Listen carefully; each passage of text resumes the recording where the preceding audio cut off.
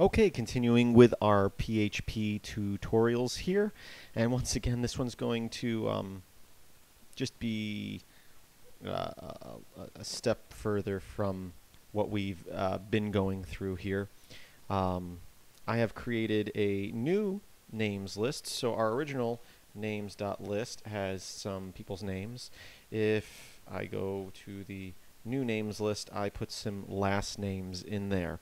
And so what we're going to do is we're going to uh, search or grep through a the file and look for matches. So we can uh, match people. And in this case, we'll be looking for people with the same last name. Um, so we're going to do. I'm going to call it. I'm going to call it grep.php. And uh, then I'm going to say PHP tags here. And by the way, once again, this is part of a series, so be sure to look for the annotation that I hopefully put up on the screen that will lead you to the playlist uh, that has all the videos because this is video number four in this playlist. Um, and 99% of it is review. So just like in the previous tutorials, we are going to create an array that uh, looks towards a file. In this case, it's going to be names underscore two dot list.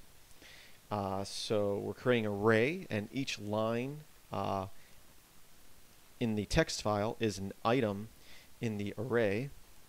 And then we're going to create a for loop. In this case, it's a for each loop. So for each item in our lines array, we're going to create a variable called name. And then, just like the other tutorials, we will just do a echo dollar sign, oops, name, and a line break. But we don't want to view all the names in this case. We want to view uh, the just lines that match a particular uh, string that we give it. So real quick here, let's bring up our names list. Uh, and we got a few people here with the same last name of Gilmore. So we're going to go uh, p uh, reg underscore grep and then inside parentheses and then we're going to use a semicolon to close the command. And we are going to say uh, within here what we are looking for. And I'll just paste in the name Gilmore there. Make sure that you have it case sensitive in this case because uh, I 99% sure it does make a difference. And we're going to say uh, lines. So basically we are going to uh, grep or preg grep uh, for this string right here within this array. Now that will run that command, but we need to put it somewhere. And in this case, I am just going to replace our original array. Uh, you could create a new array, but I'm just going to say lines and replace it because I know that in this case, I'm not going to use the uh, original array anymore. But all depends on what you're doing with your scripts. Uh, if you were to create a new array here, you would replace this here with the array you just created.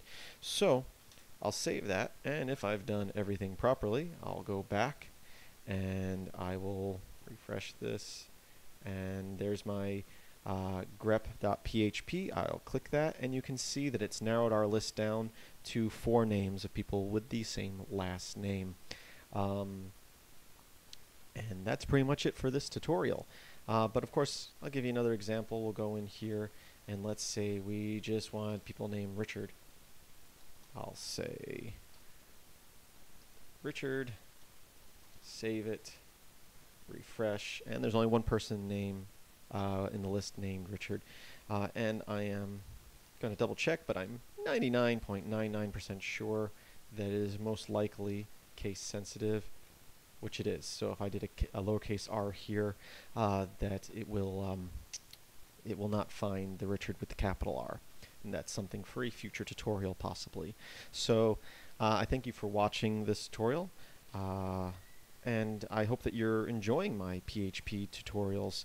Uh, once again, this is part of a series. There should be an annotation to a playlist, and this is just leading up, uh, just use quick little tips to prepare us for creating full-blown applications uh, with uh, jQuery uh, JavaScript HTML and CSS as the front end, and in some cases using PHP to to uh, go through stuff on the server side. So I just wanted to catch you guys up.